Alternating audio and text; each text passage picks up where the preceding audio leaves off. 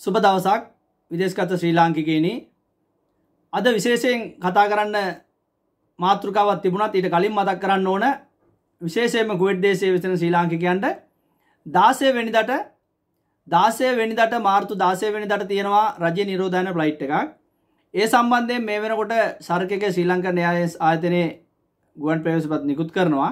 ඒ කතාකරපු කටියට ලියාපදිංචි වෙලා එම්බසියෙන් කතාකරපු කටිය ගිහිල්ල ටිකට් එක ලබාගන්න මේ වෙනකොට. දාසයවෙනි දර තියෙන්නේ. එම නිසා හොටෙල් නිරෝධායනට යන කට්ටිය මේ මොහොතේ එතෙන්ට යන්න එපා. හොටෙල් නිරෝධායනට යන්න බලාපොරොත්තුවෙන් ඉන්න කට්ටිය ඒ ගුවන් ටිකට් පත් වෙන් කරවාගන්න මේ මොහොතේ එතෙන්ට යන්න එපා. මොකද අර ෆ්ලයිට් එක සම්බන්ධයෙන් තම මේ දවස් දෙකේ කටයුතු කරන්නේ. නිසා එතන තදබදේ වැඩි. ඒ වගේම මතක් කරන්නත් ඕන දා හත්වනි තකින් පස්සේ නැවත හොටෙල් නිරෝධායනයට ඒ යන කට්ටිට ටිකට ඉසු කරනවා. හොඳට මතක තියාගන්න තවකාරණාවක්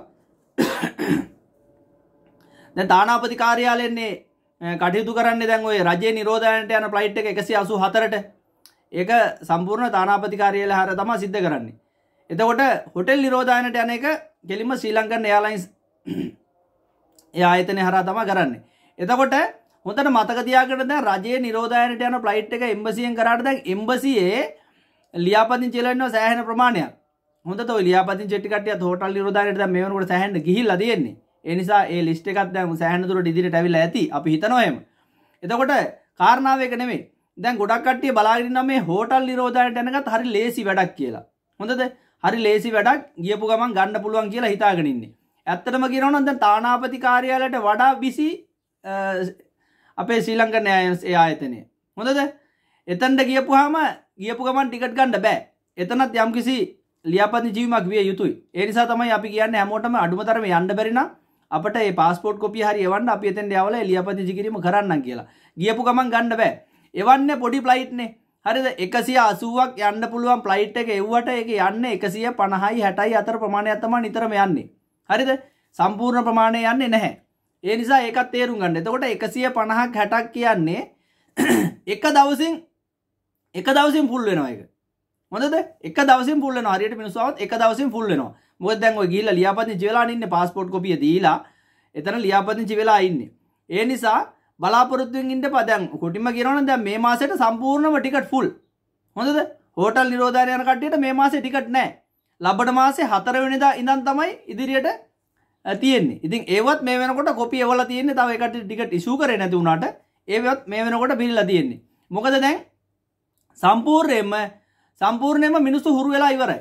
දැ මම ලංකාවෙන් මේ රට සල්ලි ගෙනල්ල දුන්න සෑහෙන්ඩ හරි සල්ලි ගෙන්නලා දුන්න ඩිනාර්වලට හරවල සෑහන්ඩ දුන්න. මොකද හේතුව දැම් මේ කටිය හුරු වෙලා තිනවා ලංකාවෙන් හරිගෙන්න්නගෙන හෝටල් නිරෝධයනට යන්ඩ හොඳද? දැන් තියෙන ක්‍රමවේද දෙකයිනේ. දෙකෙන් එම්බසිරහා යන ගෙන්නේ මාසට එකයි. ඒක එනකොටත් ඒකට අපි හැමදාම කියනවගේ ඒකට මෙහ ඔය පොලිසියේ ජේල්ල එක ඉන්න කට්ටිය සහ එතකොට හොස්පිටල් ොල ඉන්න කටිය ලෙඩ ඇති අසරීප කට්ටිය සමඟ යනකොට ඒක පුල් වෙලා ඉවරයි. ඒක යන්න බලා හිට ඇතරම තේරුම නැති බවද මිනිසු තේරුම් අරගෙන තියෙනවා. ඒ තේරුම් අරගෙන දැ ලංකාවෙන් හරි සල්ලි කෙන්න්නගෙන යන්න හුරු වෙලා තියෙන හොටල් නිරෝධයනයට. ඉති ඒ නිසා මේ සල්ලි සල්ලි තිබුණ පලියට දැන්ගේ කියන්නත් බෑ. එතන සෑහන තදබදයක් තියෙනවා. ඒ නිසා ඒකටත් කටයුතු කරන ආකාරය තම මේ කියන්නේ. පාස්පෝට් කොපියක් එවන්ඩ ඒමනත්තන් එතෙන්ට ශ්‍රීලංක නෑලයින්සකට කියලා බාර දෙන්න. බාරදීලා එකට ඊට පස්සේ ඒක කම්පියුටර් දාන ඊට පස්සේ එතනින් එහාට ඒකට කියයි අවශ්‍ය ඔයාට ටිකට් ගන්න මේ දවසට එන්න කියලා. එදාට කියලා ටිකට් එක ගන්න. හොඳද? එහෙම නැතුව මේ වෙනත් ගුවන් යාන වෙනත් එයාලයිස් වලින් යනවනන් එහෙම ඒවගේ ගිය කැබ ඔක්කොම තියෙන හාර්සිට වඩා ඉහලි ඔය පේස්බුක් එකේ තියෙන අරග තියෙන මේක තියෙන කිය කිය එව්වට කතා කරන්න එපා අපට. මොකද එව්වට අපි වග කියන්න අපි දන්නවා යාපෝට් එකින් යාපෝට්ෙන් දැන් ඔන්ල හින්නර ටිගට් අරගෙන ගිහිල්ල බැහලා එකසිය දහයට තියෙනවා කියෙන දෙසිය දහයට තියෙන වෙන තුන්සියට තියෙනවා කියෙන එවා එව ගිහිල්ලා යාපෝට් එකෙන් බාරගන්නතු ආපහු ආපහු යනකට අප ඇස් දෙකින් අපි දැකල තියෙන ඒකට ගිහිල් අපට කතා කරන ට පසේ සල්ලි ගන්න කොමද න්න වට අපි වග කියන්න නැහැ. හොඳද? ඒවට අපි වග කියන්න නැහැ. සීලංගන් යාලයින්සගේ තම අඩුම මිලට යන්න පුළුවන් තියෙන ප්‍රයිස ගනුව හරිද? දැනට තියෙන ගණන් වලට සාපේක්ෂව අඩුමුදල තුන්සිය සුහත ශ්‍රීලංගන යාලයින්සක විතරයි තියන්නේ වෙනත් යාලයින්සොල නෑ ජසීර තියනවා ඒවගේ ගණන් වැඩි හාර්සි පාලවක් වෙනවා කුවට්ටයාව සාර්සය පණහක් වෙනවා ඕමාන් හාර්සය විස්සක් වෙනවා ඒ වගේ ඒ වගේ ගණන් යන්නේ හොඳද ඉතිං ඒ නිසා අපි කියන්නේ ශ්‍රීලංකන් යාලසික හෝටල්ලෝට යන්න තියෙන යන්න බලාපොරොත්තුවෙන් ඉන්නවනම් හෝටල් නිරෝධායනට එතෙන්ට ගිහිල්ලා පාස්පෝර්ට් කොපියක් දීලා ඒක එතනත් රෙජිස්ටර් වීමක් අවශ්‍යයි. හරිද? ඒක අත්‍යවශ්‍යයි. නැත්නම් එකපාරටම ගිහිල්ලා ගන්න බෑ. හොඳද? ගිහිල්ලා සාමාන්‍ය මාසයකට වගේ ඉස්සරහට තියෙනවා තමයි හම්බෙන්නේ. ඉතින් ඒකයි කාරණාව. එතකොට අපිට මාතෘකාවට ආවම දැන් මාතෘකාවද අපි මේ දේවල් හැමදාම කියන්නේ ටිකට් මිල අඩු කරන්නනේ. හැමදාම අපි ඉල්ලන්නේ ටිකට් මිල අඩු කරන්න, ටිකට් මිල අඩු කරන්න, නිවාස නිරෝධායන දෙන්න. මේ සම්බන්ධයෙන් ජනාධිපතිතුමාට කියන්න රජයේ බලයලත් ඒ නිලධාරීන්ට කියන්න කියන එක අපි හැමෝම කියන්නේ. ඒ වගේම අපි පන්සල් හරහා ඒ දේ කරගෙන යනවා. අපේ ස්වාමින් වහන්සේලා ඒ සම්බන්ධයෙන් හඬ නගනවා.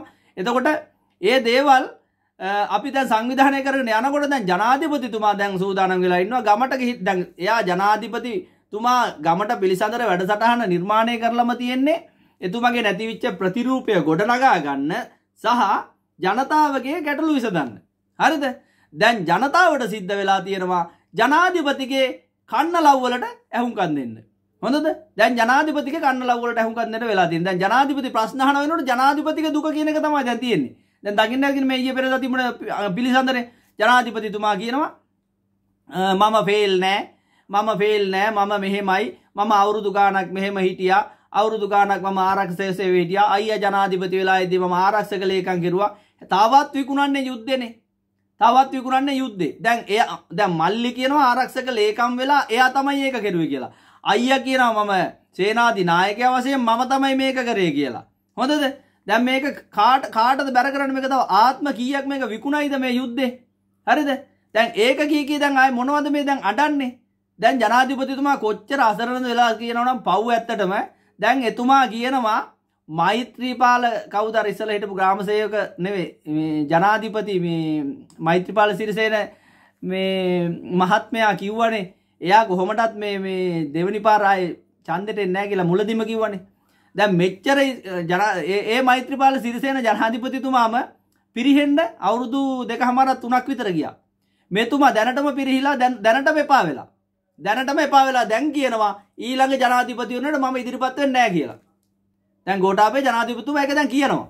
එතකොට හිතන්නකො දැන් මිනිසු මිනිස්සුන්ගේ දැන් ගමට යන හින්ද දැන් මිනිස්සුන්ගේ ඒක තේරුම් අරගෙන තියෙන මොකද ගමට පිළිසඳර ගිහිල්ලා ප්‍රශ්න අහනකොට හැමදාම දකින්න මූණු ටිකන ජනාධිපතිතුමා දකින්නේ මොකද ඒක සංවිධානාත්මක කල්ලියක්නේ ගෙනියන්නේ. ඒක හොඳට සංවිධානය කරලා ගමට ගෙනියලා ඒක ඒක කරන්නේ එකම මූණු ටික තමයි. මයික් දෙන්නේ එයාලට අවශ්‍ය කට්ටියට. ඉතින් ඒක ඒකයි ගමේ මිනිස්සයාට සැබෑ ප්‍රශ්න ඉදිරිපත් කරන්න අවස්ථාවක් උදා වෙලා නැත්තේ. නැත්තම් ওই ගම් වල උණ තරම් ඉන්නවනේ දැන් මේ රට ගියපු මේ රටවල ඉන්න මේ දුප්පත් අහිංසක අසරණ මේ අම්මලා තාත්තලාගේ සහෝදර සහෝදරියන්ගේ පවුල් වල උදේ ඉන්නවනේ. ප්‍රශ්න අහන්න පුළුවන් ඇයි අපේ කට්ටිය ගෙනලා දෙන්නේ නැත්තේ? ඇයි අපේ අම්මා තාත්තා ගෙනලා දෙන්නේ නැත්තේ? ඇයි අපේ සහෝදර සහෝදරියෝ ගෙනලා දෙන්නේ නැත්තේ? ඇයි මේ විදිහට කරන්නේ? පිට රටවල් වල මෙහෙම නෑ. මේ කට්ටියට අඩුවට යන්න පුළුවන්. ඇයි අපේ රටේ කට්ටිය විතරක් ගෙන්නන්නේ නැත්තේ? ඇයි හෝටල් මාෆියාව හරහා මේ මුදල් ගසා කන්නේ කියලා කියන්න පුළුවන්නේ? හොඳද? දැන් ඇත්තටම නමටනේ හෝටල්. නමට තමයි හෝටල්. මේ හෝටල් වල රජය නිරෝධායනට ගියත් එතනත් ඉන්නේ අපේ හමුදාවේ සහෝදරවරු. ඒ වගේම හෝටල් නිරෝධානටිකත් ඒකෙත් ඉන්න කටිය එතකොට මේ සල්ලි ඔක්කොම යන්න එක තැනකටනේ. පැහැදිලි නතකොට එක තැනකින් තමයි හැඩල් කරන්න. හරිද? සල්ලි ඔක්කොම යන්න එක තැනකට. දැන් අපිට මේ කාට චෝදනා කරන්න කියලා හිතා ගන්න බෑ. දැන් නම විතරයි හෝටල් සහ රජේ. ඒ හින්දත් දන්න සමහරට හෝටල් වලටම එන්ඩර්ලා දැන් අර ෆ්ලයිට් අඩු කරලා තියෙන්නේ. කොහොමදත් එනවා කියලා දන්නවනේ. ඒ නිසා. ඉතින් ජනාධිපතිතුමාට අපට කියන්න තියෙන්නේ දැන් මේකයි. ඔය දැන් දුක කියන කිය කියන එක නතර කරන්න නතර කරලා මේ දුක් විඳින ජනතාවට පිහිට වෙන්න ඔබතුමා එහෙමනේ ආවේ. ඔබතුමා කියනවා දැන් මම යුද්ධේ විකුණගෙන කෑවේ නැතුළු මම පාස්කු ප්‍රහාරය විකුණගෙන කෑවේ නැතුළු. එතකොට පාස්කු ප්‍රහාරය විකුණගෙන කෑවේ නැත්තම් ඒ ප්‍රහාරය වෙච්ච ගමන්ම පහවදා ලංකාවට ඇවිල්ලා මොකටද එහෙනම් කීවේ මේ? හරි මේ ආරක්ෂාව බාර ගන්න මම සූදානම් ඊළඟ ජනාධිපති වෙනට මම ඉදිරිපත් වෙනවා කියලා කිව්වේ අපිද? නෑනේ. ඔබතුමාන කිවේ ඉති එතන මේක ඒ වෙලා කියන්න ඕන කතාවද ඒත එතෙන්ට විල් හෙම කතා කරනවද? එතන මැතිවරම ව්‍යාපාරයද නෑනේ. ඔබතුමා එතෙන්ට විල් හෙම කියලා දැන් කියලා මං එහෙම කිව්වේ නැතුළු. විකුණන්න තියෙන හැම එකක්ම වික්කා. ජාතිවාදය ඇති කරා. හරිද? ආගම්වාදය ඇති කරා.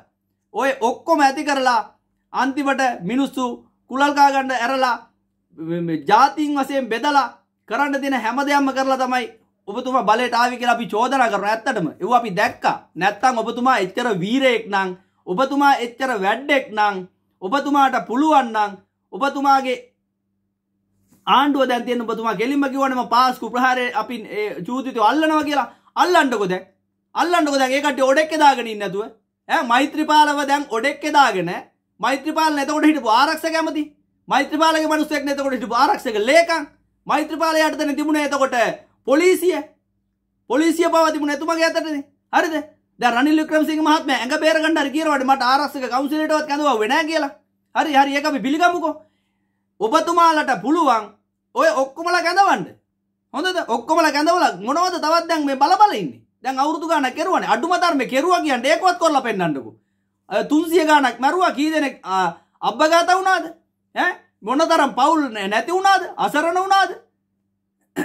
ඒ නිසා අපි කියන්නේ ඒකවත් අඩුම තරම් කරලා පෙන්නන්න. හංගන්න නැතුව. හැමදාම තමුන්නාසලා කරන්නේ නැහැ. තමුන්නාසලා වලව් පැලැන්තියේ ආරක්ෂා කරන වලව්කාරයෝ නිසා. හොඳද? තමුන්නාසලත් එක්තරා වලව්වක රනිල් වික්‍රමසිංහලා තව වලව්වක. ඒ වගේම ඔය අපේ රට මෙච්චර කාලයක් මේ සුළුතර වලව්කාරයෝ ටිකක් බහුතර දුප්පත් මිනිස්සු හැඩල් කරගෙන තමුන්නාසලා ඒකනේ. තමුන්නාසලට අවශ්‍ය පරිදි වහල්ලු සෙට් එකක් තියාගෙන ඉන්නවා.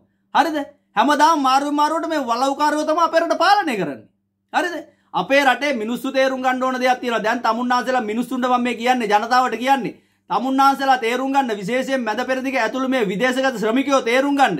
තමුන්නාසලා හැමදාම බලය දුන්නේ මේ කාටද කියලා. වලව්කාරයින්ට තමයි බලය දුන්නේ. වලව්කාරයුන්ට කවදාවත් තේරෙන්නේ නැහැ. දුක බඩගින්න කියන එක තේරෙන්නේ නැහැ. හරිද? දුප්පතාගේ ඒ තත්ත්වය ඒ කට්ටියට තේරුම් ගන්න බෑ. අපි හැමදම කියනවා වගේ ඒ කට්ටිය ආතල් ගන්න තමයි ඒ කට්ටිය. විනෝදයට තමයි ඇමතිකම් ගන්නේ වාහන ගන්නේ ඔව්වට පත් වෙන්නේ ඒ කට්ටිය විනෝදයට. තේරුණාද? අපි ගිහිල්ලා එතන මේ ඒ කට්ටියට තව ආතල් ගන්න අපිත් ආතල් දෙනවා. ඒකනේ කරන්නේ. දැන් පේනවනේ දැන්. අසීමිත බලයක් දීලා කරගෙන තියෙන විනාශය. තේරුණාද? 150කට වැඩිය අරගෙන තුනෙන් දෙකේ බහුතර බලයක් අරගෙන මේ ආණ්ඩුව මොනවද මෙච්චර දවස් කරේ කියලා පොඩ්ඩක් කල්පනා කරලා බලන්න. 20 වෙනි සංශෝධනය ගෙනාවා. කා වෙනුවෙන්ද ගෙනාවේ? කවුරු වෙනුවෙන්ද ගෙනාවේ විදේශගත පුරවැසි භාවය තියෙන කට්ටියට පාර්ලිමේන්තුවට එන්න පුළුවන් එක තමයි ඒකෙන් ගෙනා විශේෂයෙන්ම ඒ වගේම තමුන්ට අවශ්‍ය පරිදි ඕන තීන්දුවක් තීරණයක් කිසිම අභිමතයකින් පරිදි කරන්න පුළුවන් කියන තීන්දුව එලා ගත්තා. කොටින්ම කියනවනම් අර ගෑණියක් මිනිහෙක් කරන්න බැරි ප්‍රශ්නේ විතරයි දැන් ඇත්තට මිතුරුලා තියෙන අනික ඔක්කොම මේ විදිහට එයාලගේ අතට අරගෙන තියෙන්නේ. ඒ අතට ගත්තත් කමන්නේ දැන් ස්වාමීන් වහන්සේලා කිව්වේ ඒක දෙන්න ඕන කියලානේ අපේ රටේ. දැන් දුන්නනේ. දීලා දෙයි හාමුදුරනේ දැන් කරපල්ලකෝ. තවත් මොනවද බලාගෙන ඉන්නේ? දැන් කරපල්ලා. කරලා පෙන්නපල්ලා. මොනවද දැන් අඩු? පාර්ලිමේන්තුව ඉල්ලව පාර්ලිමේන්තුව දුන්නා. ජනාධිපතිකම ඉල්ලව ජනාධිපතිකම දුන්නා. ඈ එතනින් පස්සේ තුනෙන් දෙකක් ඉල්ලව තුනෙන් දෙකක් දුන්නා. 20 ඉල්ලව 20ක් දුන්නා. දැන් ආයේ මොකද්ද ඉල්ලන්නේ තවත්? ඈ දැන් මොකද්ද ඉල්ලන්නේ? දැන් අන්තිමට මුළු මැද පෙරදිග ඇතුළු සියලුම ශ්‍රී ලාංකිකයන්ගේ හූරාගෙන කන එක අපූර්වට කරනවා. මොකද ඒ අර අර අසීමිත බලයෙන් තමයි ඒ ඔක්කොම කරන්නේ. දැන් උදාහරණයකට හිතන්න.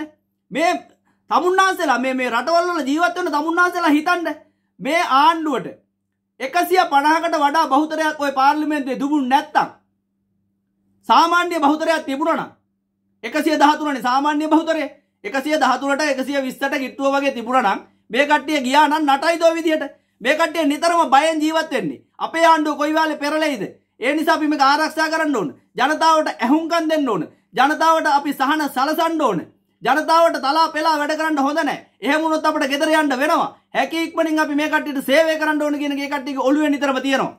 තේරුණාද? ඒක ඔළුවේ තියෙනවා. දැන් අපේ එවුන් ගිහිල්ලා පොලිමේ ගිහිල්ලා 150 ගානකට වඩා වැඩි බහුතරයක් මේ ආණ්ඩුවට දීලා දැන් හොඳයි නේද කරගෙන තියෙන වින්නහිය. දැන් මේ ආණ්ඩුව දන්නවා අපි වටන්න බෑ කියලා.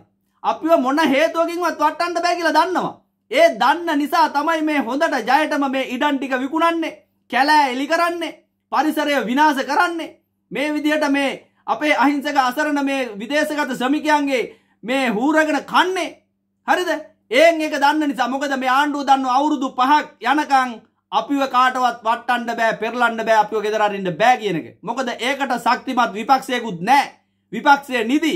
විපක්ෂය බලාගෙන ඉන්නේ මේ අපි මේ කෑගහන විදිහට මේ අසරණ ජනතාවගේ මේ මේ කෑගහන විදිහට මේ විදිහට ඒකට ඔටෝමැටික් එයාලට ඒ වාසියයි කියලා තමයි බලාගෙන ඉන්නේ.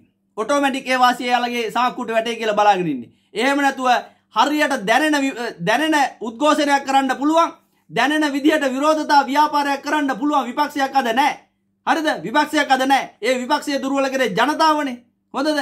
ඒක රනිල් වික්‍රමසිංහ මහත්තයා ඇතුළු ඒ හිටපු නඩේට පින් සිද්ධ වෙන්න තමයි ඒක කරගත්තේ. ඒකත් හොඳයි. මොකද එව්වත් අර කලකම් කලකම් පලදීමක් එක එක පැත්තකින් පාක්ෂිකය අමතක කරපු එක එක පැත්තකින් තමයි රටේ පුරවැසි අමතක කරපු එක. ඒ කට්ටියට ඒකයි දුන්නේ බෙහෙත.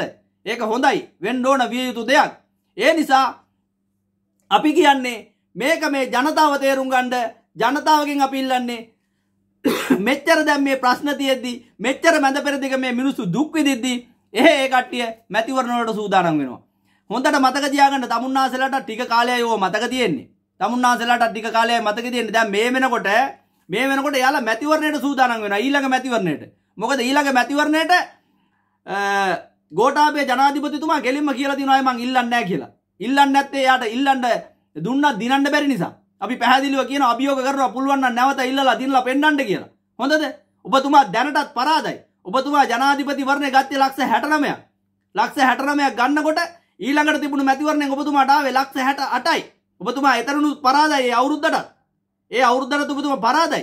නැවත මැතිවරණයක් තිබ්බොත් නැවතත් පරාදයි. ඒක මතක තියාගන්න අනිත් එක තමයි අපි පැහැදිලිවම කියනවා ඔබතුමාලා දිනුව නෙවෙයි. ඔබතුමාලාට ඡන්දය දුන්නේ මිනිස්සු. ඔබතුමාලා දක්ෂ නිසා නෙවෙයි. ඔබතුමාලා දක්ෂ නිසා නෙවෙයි. ඔබතුමාලාට ඡන්දය දුන්නේ හකීම්ගේ බදුරුදීන්ගේ එක්ක තිබ්බ වෛරයට සහ විපක්ෂයේ එවකට ආණ්ඩු පක්ෂයේ තිබ්බ දුර්වලතාවය නිසා. එවකට ආණ්ඩු පක්ෂයේ තිබුණ දුර්වලතාවය නිසා සහ හකීම් සහ බදුරුදීන් දෙන්නගෙත් එක තිබුණ වෛරයට තමයි තමුන්නාන්සෙලාට සිංහල බහුතරයක් ඡන්දය දුන්නේ. හරිද? එතනත් තමුන්නාන්සෙලා තමයි මේ ජාතිවාදය ඇවුලුවේ.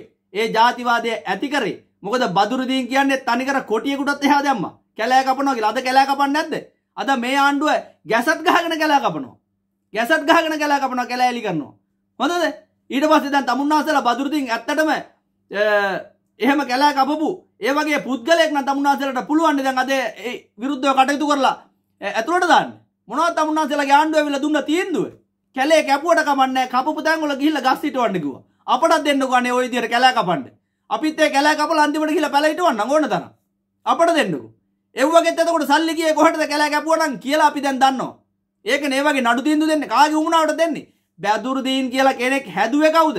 බැසිල් රාජපක්ෂ. බදුරුදීන් කියලා කෙනෙක් හැදුවේ බැසිල් රාජපක්ෂ. බදුරුදීන් හිටියේ කොහෙද කියන්න අපි දන්නවා. බදුරුදීන් හිටියේ ඒ වෙනකොට හිටපු ඒ මධ්‍යස්ථානයක හිටිය ඒ කාලේ ඒ රැඳවුම් මධ්‍යස්ථානයක හිටපු පුද්ගලයෙක්. නැතුව ලොකු පුද්ගලයෙක් නෙමෙයි. මෙයාලගේ මේ ඡන්ද ගුණ්ඩු නිසා ගිහිල්ලා එතෙන්ද බහැලා මේ වගේ පුද්ගලයන් නිර්මාණය කරේ හැදුවේ වැඩුවේ කිරිපොවල හදාගත්තේ මේ කට්ටිය.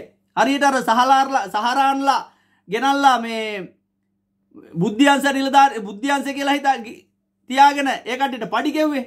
ඒත් ඔය ආණ්ඩු වෙන්නේ. ඒත් ඔය මේ වත්මන් ආණ්ඩුව තමයි. හොඳද?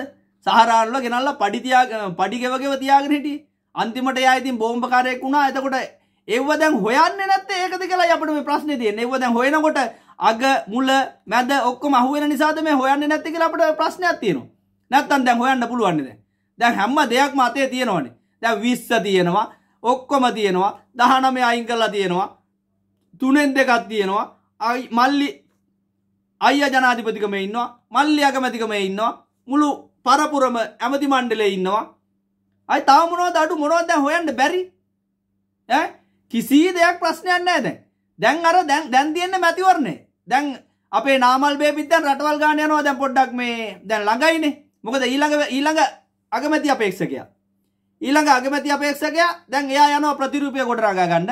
එතකොට ඊළඟ ජනාධිපති අපේක්ෂකත්වයට තරඟ වඳින්න බලාගෙන ඉන්නවා දැන් බැසිල් රාජපක්ෂ ජනාධිපති වෙන්න. එතකොට ඒ කට්ටිය දැන් ඒව හදනවා. දැන් අපේ කට්ටිය සූදානම් වෙලා ඉන්න මේ යන කට්ටියත්. මේ යන කට්ටිය සූදානම් වෙලා ඉන්න කියලා නැවත වතාවක් ගිහිල්ලා පොලිමේ දෙන්න. හොඳේ. පොලිමේ දෙන්න ගිහිල්ලා මතක තියාගන්න ඒක. එහෙම නොදී දැන් ආපහු එක පවුලකටම දැන් දීලා කරගත්ත වින්නහිය තව ඉදිරියට දීගෙන මයන් ඉතින් දෙන්නත් කවුරුවත් නැහැ කියලා හිතාගෙන ඉන්න කට්ටිය. මොකද දැන් දැන් ගම්වල තමුන්ගේ ගමේ තමුන්ගේ දිස්ත්‍රික්කයේ තමුන් වෙනුවෙන් කතා කරන දුප්පත් මිනිස්සයා වෙනුවෙන් පෙනී සිටින ඒ මිනිස්සු අමතක කරලා කොහෙන්වත් පැරිසුට්කාරයොන්ට ඡන්දය දෙන සංස්කෘතියක් නේ අපේ රටේ තියෙන්නේ. පැරිසුට්කාරයෙක් ඇවිල්ලා දිස්ත්‍රික්කයට කොහෙන් හරි බැස්සන අන්න උන්ට ඡන්දය දෙන සංස්කෘතිය තමයි අපේ රටේ තියෙන්නේ. හරිද? බලන්නේ මොනවද? බලන්නේ ඌ මොනවද දෙන්නේ අපට? ඒ මොහොත ගැන විතර හිතන්නේ. පෙනෙන දුර විතර හිතන්නේ. නොපෙනෙන දුර හිතන්නේ නෑ අපේ රටේ මේ විශාල වශයෙන්ම ඡන්දදායකයෝ. පෙනෙන දුර විතර හිතන්නේ. දෙන්නේ මොනවද? බලනවා ගිහිල්ලා ආ දෙනවා එතන අරක්කු වාගයක් දෙනවා බෝතලයක් දෙනවා. රයිට්. කෑම් පැකට් එකක් දෙනවා රුපියල් 1000 2000 දෙනවා. අන්න දුන්න ගැව්ව කතිර ගැව්ව එතනින් ඉවරයි. ඒ වින්නහියන අද මේ වෙලා තියෙන්නේ. අපි මේ කතා කරන්නේ ඒකයි. අඩුම තරමේ දැන් මේ රටේ කවදාවත් ඉතිහාසයේ අවුරුදු දැන් නිදහස ඇරගෙන අවුරුදු හැත්තෑ තුනක් වෙලත් මේ වෙනකං විඳපු නැති දුකක් දැන් මේ රටවල අපේ ජනතාව විඳිනවනේ. හොඳද? මැද පෙරදිග ජනතාව විඳිනවා. අපි දන්නවා අපි අපිටව ඇහෙන පේන දකින නිසා අපි දන්නවා. උඹලවත් කියපල්ලා උඹලා ගෙවල් වල උදවිට මින් ඉදිරියට ඡන්දේ දාන්න ඕන කාටද දාන්න ඕන කොහමද කියලා. ඇස් දෙක ඇරලා බලපල්ලා මොනවද කරේ කියලා. පැවති සහපේ පවතින මේ රජවල් මොනවද අපි වෙනුවෙන් කරලා තියෙන්නේ කියලා. හදාගන්න උත්සාහ කරගනිලා තමුන්ගේ පිටකොන්ද කසේරුව තේරුණාද?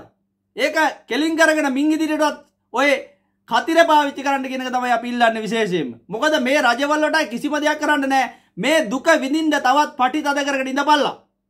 මේ දුක විඳින්න. මොකද මේ ආණ්ඩුව වට්ටන්න බෑ. වට්ටන්න බෑ කියලා ආණ්ඩුවක් දන්නවා. හරිද? හොරා කෑවත්, ගසා කෑවත්, බෙල්ල මිරිකලා කෑවත් හොඳද?